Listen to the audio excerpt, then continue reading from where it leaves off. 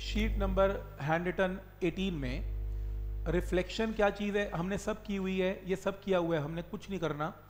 ये भी हमने कर लिया, आज मिरर्स अगर मान लो थीटा एंगल को घुमाया जाता है तो इमेज टू थीटा घूमती है, ये हमने ऑलरेडी कर लिया, नहीं करना। ये लेंस की नॉर्मल प्रॉब्लम है, ये आप अपनी नॉलेज से वैसे ही कर सकते हो, इसमें कुछ नया नहीं है, नहीं करना। इसमें यह बताया हुआ है कि अगर आपके सामने किसी क्वेश्चन में ऐसा ऑब्जेक्ट है तो उसकी इमेज कैसी बनेगी? ये क्वेश्चन करने के, करने का एक तरीका है कि आप पहले इसको ऑब्जेक्ट माने। इसको ऑब्जेक्ट मान के इसकी इमेज निकाल लें मिरर्स के फॉर्मूले से मैग्नीफिकेशन निकाल लें फिर इसको ऑब्जेक्ट माने। फिर इसकी इमेज की वैल्यू निकाल लें और मैग्नीफिकेशन निकाल लें और फिर डायग्राम कुछ ऐसा ड्रॉ करें, ऐसा कुछ बनेगा। मतलब ये इमेज और ये इमेज बनेगी ज्वाइन करके इसकी उल्टी इमेज बनेगी। मतलब मैं ये बता रहा हूँ कि आप ये मत देखें कि मैंने कोई ऐसी थ्योरी नहीं कराई। कि जहाँ पर इतना मोटा ऑब्जेक्ट होता है पैलोग्राम की तरह या कोई इसकी तरह जो आपका कोई भी फिगर अजीब सी है तो ऐसा कुछ नहीं है। आपको एक एक करके ऑब्जेक्ट मान के उसकी इमेजेस बनानी पड़ती हैं। बस ये मैंशनड है। ये कुछ नहीं करना रियल डेप्थ अपरेंट डेप्थ ये सब हमने किया हुआ है। कुछ नहीं करना मिरर की ये सब प्रॉब्लम की हुई हैं। हमने डिस्प्लेसमेंट मेथड भी किया हुआ है ऑलरेडी डन जो मार्क करना था मैंने ऑलरेडी करवा दिया, कुछ नहीं करना। लेंस की कुछ प्रॉब्लम भी की हुई हैं। आप अपने फॉर्मूला बुकलेट में ये नोट करें। ये नोट करें नंबर ऑफ़ इमेजेस इसके ऊपर क्वेश्चन आपको दिखेंगे नीट और मेंस के ऊपर. इसमें यह मैंशनड है कि if there are two plane mirrors incline to each other at an angle of theta तो ये एक प्लेन मिरर है, ये एक प्लेन मिरर है. इनके बीच में एंगल क्या है? थीटा और ये एक ऑब्जेक्ट पड़ा हुआ है ओ तो इस ऑब्जेक्ट की मल्टीपल इमेजेस दिखेंगी दोनों मिरर्स में. आपको काउंट करके बतानी है कितनी इमेजेस दिखेंगी।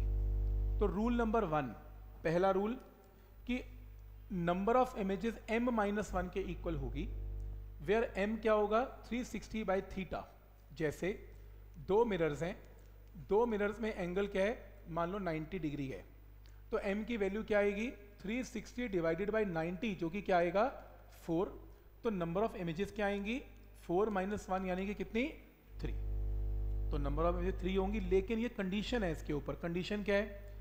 कि नंबर ऑफ़ इमेजेस का ये फॉर्मूला है एम की वैल्यू किसके इक्वल है? थ्री सिक्सटी बाई थीटा और ये जो डिवाइड करके आंसर आना चाहिए, वो क्या आना चाहिए? इवन इंटीजर अगर ये इवन इंटीजर आएगा, अगर ये इवन आएगा तो आपके पास नंबर ऑफ़ इमेजेस ये फॉर्मूला फॉलो करेगा। लेकिन अगर आपके पास इवन नहीं आता, और क्या आता है? ऑड इंटीजर आता है। और ऑब्जेक्ट इज़ नॉट नॉट को अंडरलाइन कर लेना। On the bisector of the mirror यानी कि ये मिरर्स हैं, ये थीट है, ये बाइसेक्टर है और ये आपका ऑब्जेक्ट है। तो ऑब्जेक्ट बाइसेक्टर के ऊपर नहीं है। तो अगर आपका ऑब्जेक्ट बाइसेक्टर पे नहीं है और इसको डिवाइड करके आंसर ऑड आता है तो नंबर ऑफ़ इमेजेस सिर्फ़ एम ही बनेगी। लेकिन अगर ये बाइसेक्टर पे होता और ऑड भी बनता तो नंबर ऑफ़ इमेजेस का वही पुराना फॉर्मूला यूज़ होता एम माइनस वन ठीक है? तो ये रूल्स हैं इसके नंबर ऑफ़ इमेजेस निकालने के।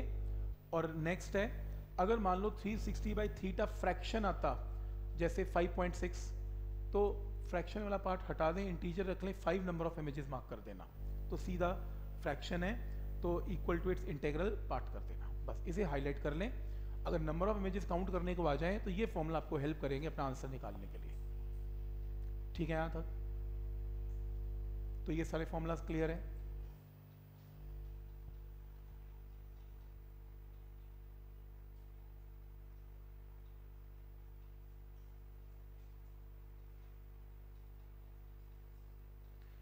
ये फॉर्मूला बुक में इसलिए ज़रूरी लिखना है, जब सारा रिवाइज होगा तो ये भी रिवाइज हो जाएगा। नहीं तो ये पोर्शन छूट ही जाएगा आपसे।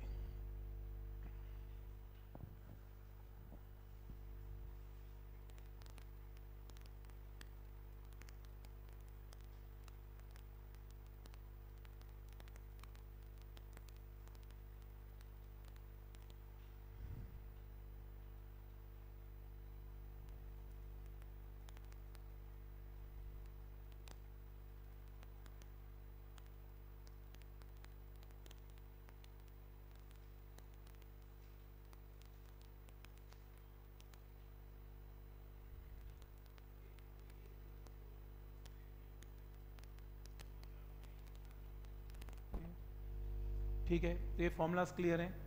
नेक्स्ट है। देखो नेक्स्ट है इन फॉर्मूलाज के बाद। देखो in case of spherical mirrors जब हम स्फेरिकल मिरर्स के प्रॉब्लम्स करते थे, हम सारे डिस्टेंसेस कहाँ से लेते थे? पोल से लेते थे। लेकिन अगर मान लो वो कहता है कि x1 ऑब्जेक्ट का डिस्टेंस है x2 इमेज का डिस्टेंस है, कहाँ से? पोल से नहीं स्फेरिकल मिरर के फोकस से। तो ऑब्वियसली पोल से डिस्टेंस क्या बन जाएगा? F प्लस एक्स टू या f plus X one mirror के फॉर्म में पुट करेंगे।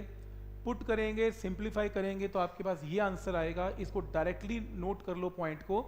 In case of spherical mirrors अगर ऑब्जेक्ट का डिस्टेंस x1 है और इमेज का डिस्टेंस x2 है फोकस से फोकस से तो सीधा x1 x2 से f की ये वैल्यू आ जाएगी। इस फॉर्मूला को न्यूटन फॉर्मूला बोला जाता है। कई बार ऑब्जेक्टिव के अंदर आपको डायरेक्टली यही फॉर्मुला मार्क करने को आता है mark the correct option X one into X two is equal to X square ठीक है? मैंने भी देखा ऑब्जेक्टिव बुक्स में ऐसा सीधा डायरेक्ट मार्क करने को आता है। तो डायरेक्ट मार्क कर देना।